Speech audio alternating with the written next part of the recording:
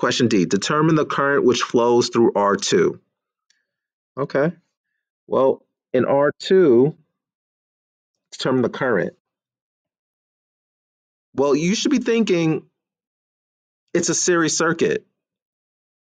So the current is the same everywhere.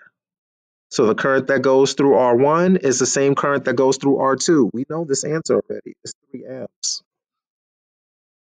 Okay, and last part, determine the reading on the voltmeter. So my voltmeter, where is it? It is right here. It's connected to resistor 2. So it's going to tell me the resistance, sorry, it'll tell me the voltage use of resistor 2. So let's look at our volt equation. Oh, I don't like that color. V total equals V1 plus V2.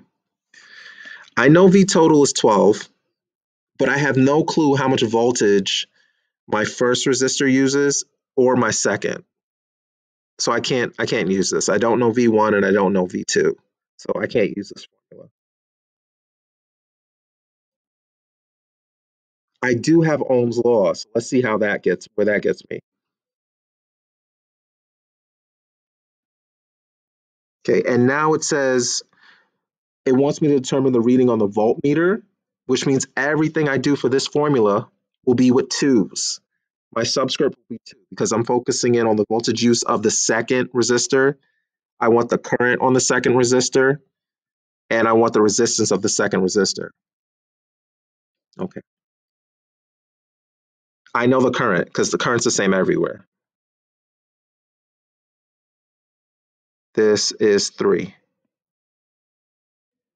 I don't know R2 yet. I have to find it. Okay. I don't know R2. I don't know the resistance here.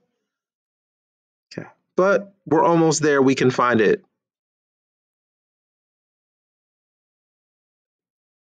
Hopefully you're still with me. I'm definitely happy um, to point out things. I imagine you should have paused your video on a certain a few points um, to take notes or correct what you were doing.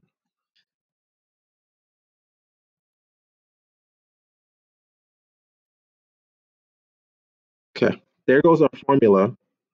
We know the resistance total is 4. We know resistor 1 is 3. But we don't know R2. Hopefully you're sitting there saying, you know, subtract 3, subtract 3. I have my resistance. It's one ohms. So substitute it in. I find out that the voltage use in this resistor is 3 volts.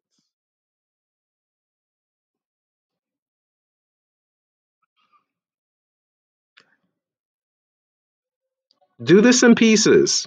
Work your way through, see where you get stuck. We can have deeper conversations. I'm happy to help.